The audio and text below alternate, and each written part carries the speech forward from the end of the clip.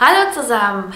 Heute machen wir diesen wunderbaren Marilyn Monroe Look und wie es dazu gekommen ist und warum ich mit Max Factor zusammenarbeite, das erkläre ich euch jetzt. Vor ein paar Wochen wurde ich eingeladen von Max Factor, mich mit denen in Berlin zu treffen. Und zwar habe ich dort getroffen Stefan Schmid.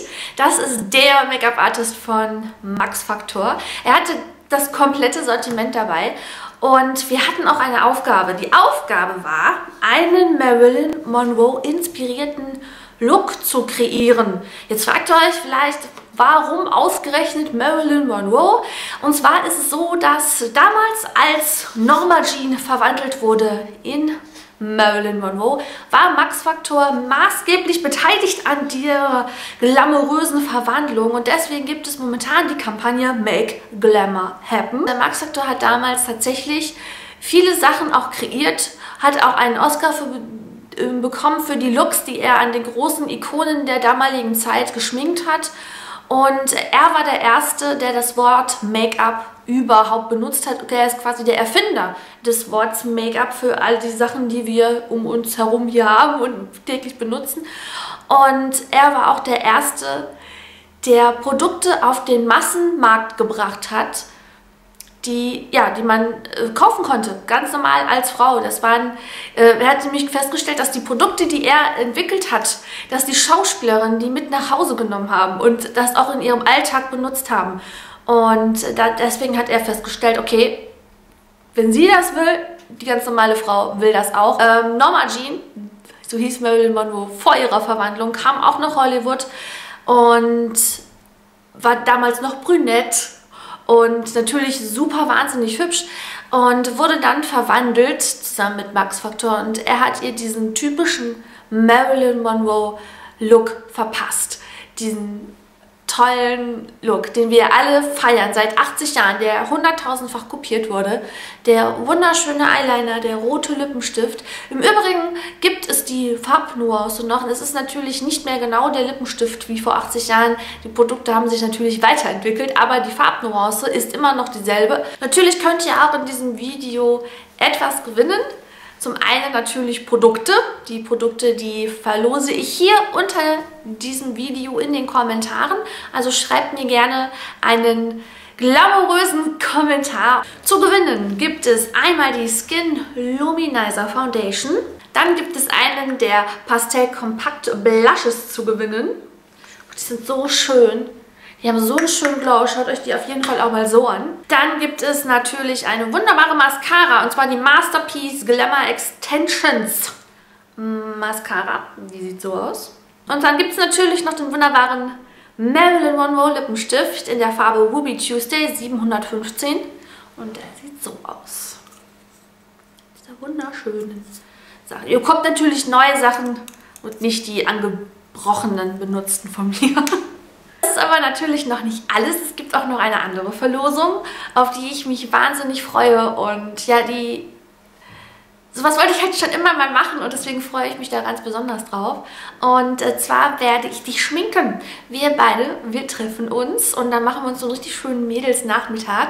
Und äh, dann zeigst du mir mal so ein bisschen vielleicht auch, was du an Schminke hast und wie du immer schon aussehen wolltest, weil wir wollen natürlich auch aus dir die Marilyn Monroe herauskitzeln. Wir wollen aus der Norma Jean die Marilyn Monroe machen in deinem Fall. Und äh, ja, das würde ich mich total drüber freuen. Und alles, was du für den Look natürlich brauchst, kannst du hinterher natürlich auch mit nach Hause nehmen. Die einzigen Voraussetzungen sind, du solltest mindestens 18 Jahre alt sein. Du solltest total Bock drauf haben, einen Nachmittag mit mir zu verbringen. Dir sollte es recht sein, dass ich dich filme, weil ich würde das gerne mich mit der Kamera begleiten. Mitzumachen ist auch super mega einfach. Du musst einfach nur einen Instagram-Account haben, ein glamouröses Selfie von dir hochladen und die Hashtags Make Glamour Happen und Christine Valeska zu benutzen und dann war's das schon. Und alle Informationen findet ihr natürlich auch nochmal hier schön unten aufgelistet in der Infobox. Ich freue mich wahnsinnig auf den Tag. Ich bin wahnsinnig gespannt auf eure Fotos. Denkt daran, die Kommentare zu hinterlassen, ne, damit ihr auch die wunderbaren Produktsets gewinnen könnt. Und dann sehen wir uns im nächsten Video. Jetzt kommt das Tutorial zu dem Marilyn Monroe Look. Und ich wünsche euch alles Gute und bis bald. Ich fange natürlich an, wie immer, mit der Foundation. Und zwar mit der Facefinity All Day Flawless Foundation. Das Tolle an der Foundation ist, da ist Primer schon mit drin. Das heißt, ich brauche nicht vorher noch einen Primer auftragen. Und die hat so eine gute Deckkraft, dass ich die auch als Concealer benutzen könnte. Aber ich habe noch einen extra Concealer. So, anschließend nehme ich mir meinen Concealer. Das ist in dem Fall der Master Touch Under Eye Concealer. Den gebe ich dann in so Pünktchen und das Auge bis zur Schläfe und anschließend noch ein paar Pünktchen zur Nase, weil ich hier auch an die Nase rum immer ein paar Rötungen habe oder hier in der Falte und hier am Kinn, so quasi zum Highlighten ein wenig. Und dann gebe ich mir noch etwas auf die Fingerspitzen und tupfe mir das schon mal so auf, die, auf das bewegliche Lid, weil ich so starke ähm, Äderchen auf dem Lid habe. Die muss ich abdecken, damit das Augen-Make-up hinterher schön aussieht. Und dann tupfe ich den Concealer ganz sanft in die Haut ein. Ich klopfe den ein, weil die Haut ja so empfindlich ist. Und die will ich nicht noch reizen. So, zum Fixieren nehme ich jetzt den Pastell Kompakt Puder. Das ist ein gepresster Puder. Und nehme den möglichst sparsam, weil meine Haut doch eher trocken ist. Und tupfe damit ein bisschen meine T-Zone ab und die Augenlider, weil ich die ja jetzt schminken möchte. Und Reste, die ich jetzt noch am, am Puderpinsel habe, gehe ich dann einfach so ganz leicht unterm Auge nochmal lang. Und dann ist meine Foundation auch schon fertig. Zum Konturieren benutze ich jetzt einen Blush. Das ist eine ganz, ganz super neutrale Farbe. Das ist die Farbe Nude Mauve. Die Farbe von dem Rouge ist eher bräunlich.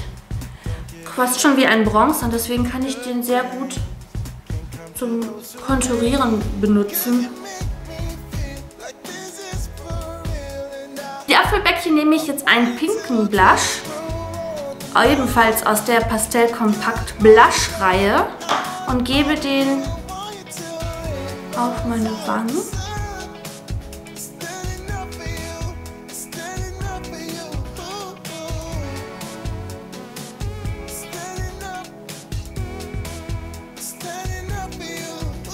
Und schon geht's ans Augen-Make-up. Hierfür benutze ich die Access Shimmer Creme-Lidschatten. Einmal in der Farbe Crystal. Das ist so ein wunderschönes, schimmerndes Weiß.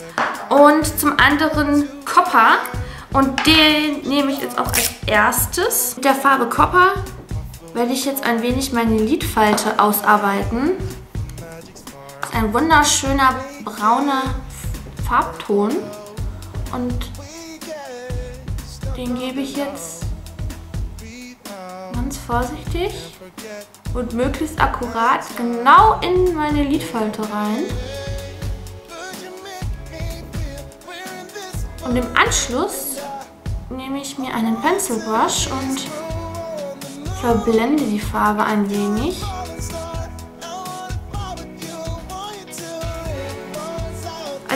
Nehme ich jetzt die Farbe Crystal und gebe die jetzt auf das bewegliche Lid.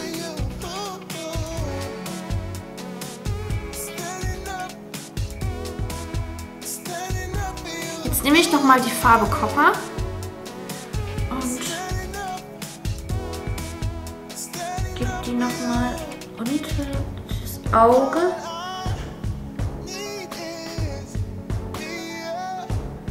Und dann smoke ich das so ein bisschen aus.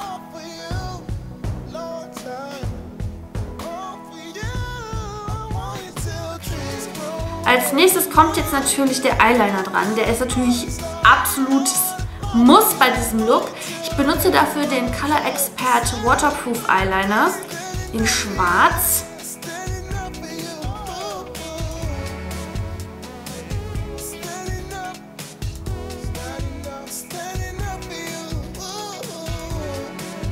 So, der Eyeliner sitzt. Jetzt fehlt für das Augen-Make-up nur noch zwei Sachen. Zum einen ein nudefarbener äh, Kajal. Das ist ein Kohl-Kajal in der Farbe Nat in der Farbe Natural Glaze. Der ist so ein Nudefarben. Der kommt jetzt auf die Wasserlinie. Damit sehen meine Augen ein bisschen frischer aus.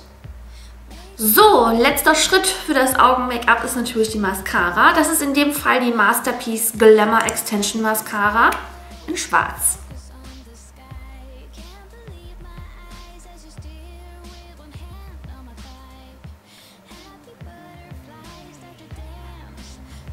So, der letzte Schritt sind meine Augenbrauen. Hierfür benutze ich die Augenbrauenstifte einmal in Grey Brown und einmal in Brown. Und ich fange an mit Grey Brown. Das ist dieses grau-grün-braun. Und male mir feine Härchen rein.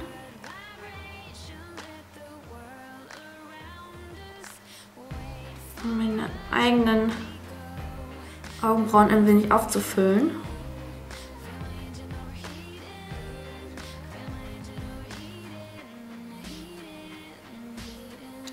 Dann bürste ich meine Augenbrauen noch mal ein bisschen nach.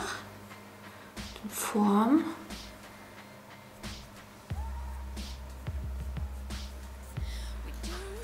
Jetzt nehme ich noch mal einen etwas dunkleren Augenbrauenstift und male mir noch mal ein paar Haare dazu.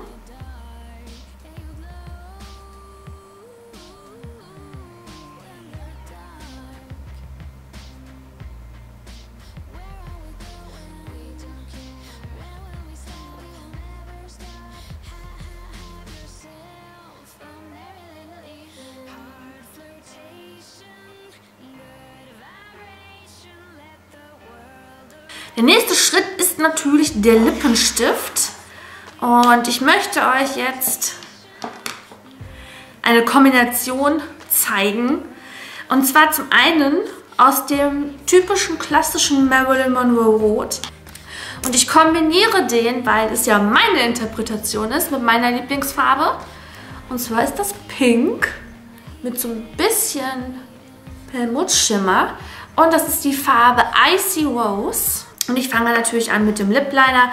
Das ist in dem Fall der Color Elixir Lip Liner in der Farbe Wet Wash.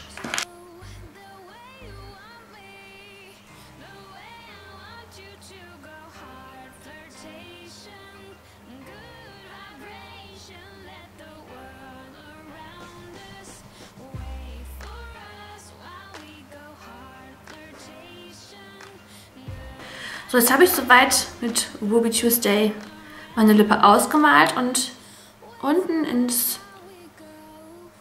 in die Mitte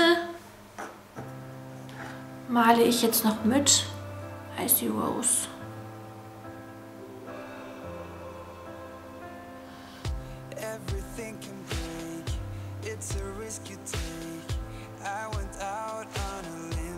Jetzt nehme ich mir noch einen Lip Liner, der sehr viel dunkler ist.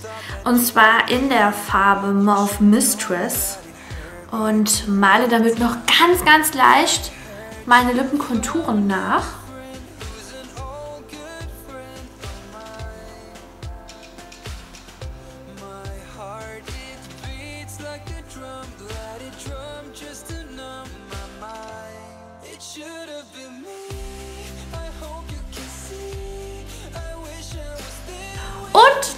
Auch schon mein fertiger Marilyn Monroe inspirierter Look.